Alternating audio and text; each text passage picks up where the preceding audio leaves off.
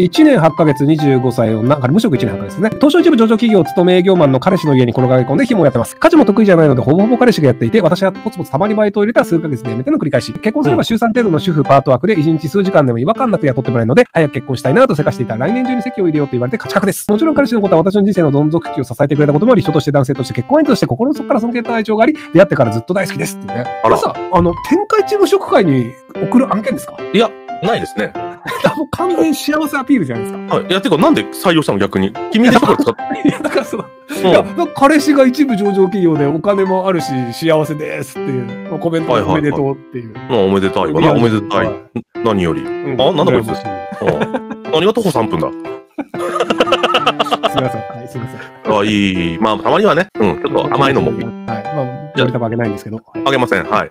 すいません。あの、本当もちょっと忙しいとこ申し訳ないですけど、あの、チャンネル登録してもらえるとありがたいんですけど、難しいですかね。